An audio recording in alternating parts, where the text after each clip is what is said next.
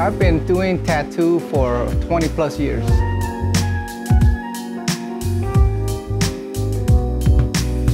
Prior to using the InkArm, I've been setting my station on the counter. All day long, eight hours, I, will be tattooing. I'll be twisting my back, back and forth, back and forth, dipping the ink. With the InkArm, now I could place the arm, my tray, wherever I need to go. I could just pull the tray a little closer to me to dip the ink instead of going back and forth for the InkArm. You come home and my back would hurt. Now using the InkArm, it saved my back.